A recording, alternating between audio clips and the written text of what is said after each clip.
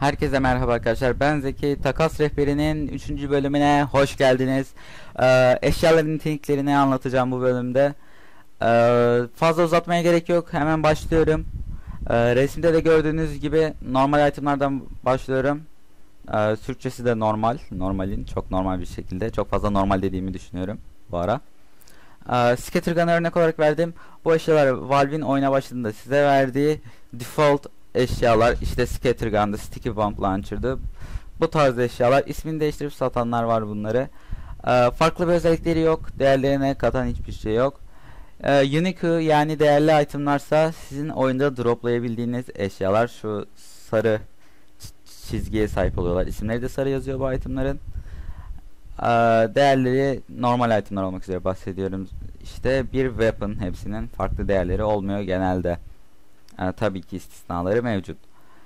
Normal oyunda dropladığınız itemlar. Vintage yani klasik itemlara gelirse klasik itemları elde etmenin iki yolu vardı. Birincisi artık mümkün değil. O da belli bir tarihten önce belli bir güncelleme. Şu an tarihini ve ismini hatırlayamıyorum.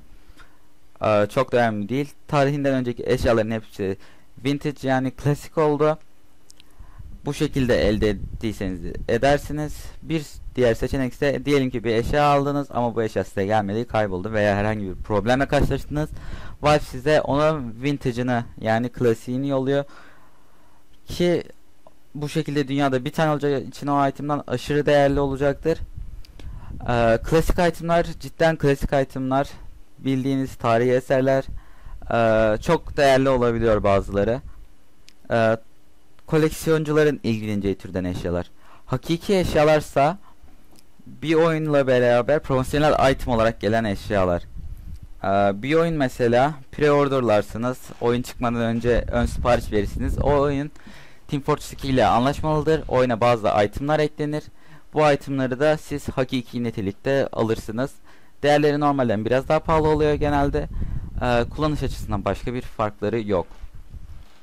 Strange yani garip itemlara gelirsek Strange itemlar kill sayıyor kaç kişi öldürdüğünüzü. Sadece bununla sınırlamak zorunda da değilsiniz. Yığınla Strange Part var. İstediğinizi ekleyebilirsiniz.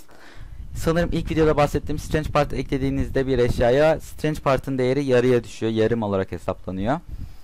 Ee, Strange eşyaları ben seviyorum. Öneriyorum. Kullanın. Özellikle default itemlarda. Ee, kaç kişi öldürdüğünüz istatistikleriniz önemli. Mesela Market Gardener'da Kills Explosive Jumping özelliğiyle hav havadayken öldürdüğüm kişileri saymak benim için önemli. Ee, fiyatları yine normalden daha pahalı oluyor Strange itemlerin. Unusual itemlarsa kutulardan bir istisnası var bunun. Kutulardan %1 ihtimalle hatta bazı sitelere göre %1'den daha az %63 civarı e, tf2finans.com'a sanırım. İhtimalle çıkan eşyalar. E, bunların da birinci nesil, ikinci nesil gibi e, farklılıkları var. Bir sürü olayları var. Bunları Unusual takas rehberinde anlatacağım. Şimdi kısaca geçiyorum.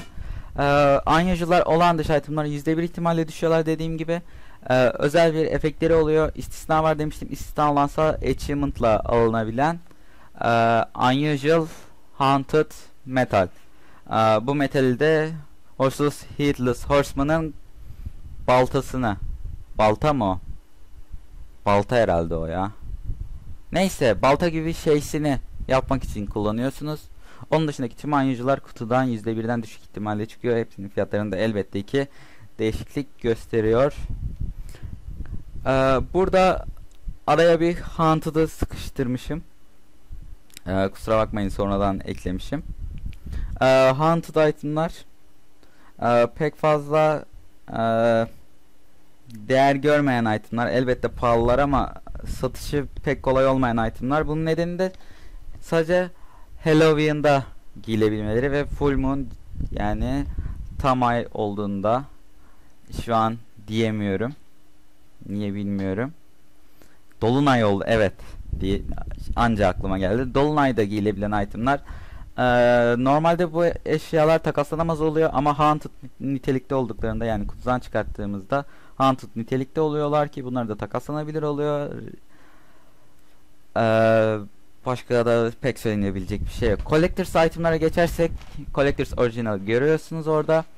Ee, chemistry setlerin, kimya setlerin kimya setleriyle birlikte gelen bir şey collectors itemlar Ee, yeni eklendi sayılır.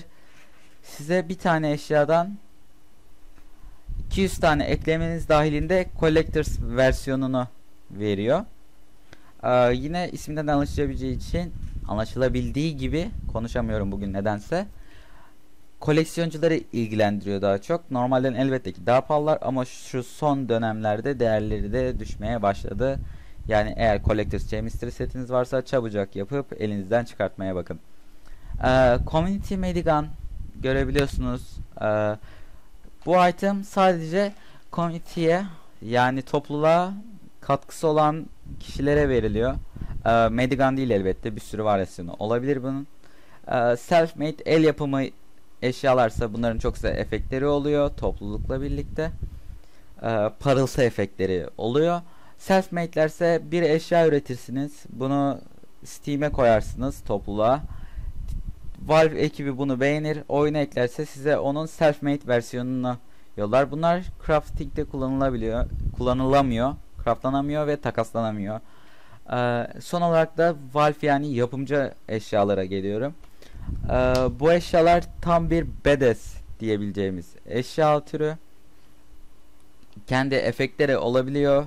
Alevli bir efekt. Ee, Valve'de çalışan kişilerin sahip olduğu eşyalar. Bunlar tamamen korkunçlar ve op eşyalar. Ee, public'te görmeniz pek olası değil. Oynamak ne kadar zevkli olur o da tartışılır ama bu tarz eşyalar da var. Videolarda vesaire görürseniz şaşırmayın. Ee, Böylelikle 3. bölümün de sonuna gelmiş oluyoruz. 4. bölümde ne yapacakmışız?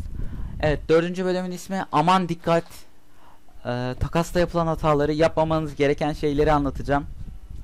4. bölüme özellikle dikkat etmenizi, izlemenizi öneririm. 4. bölümde görüşmek üzere. Hoşçakalın.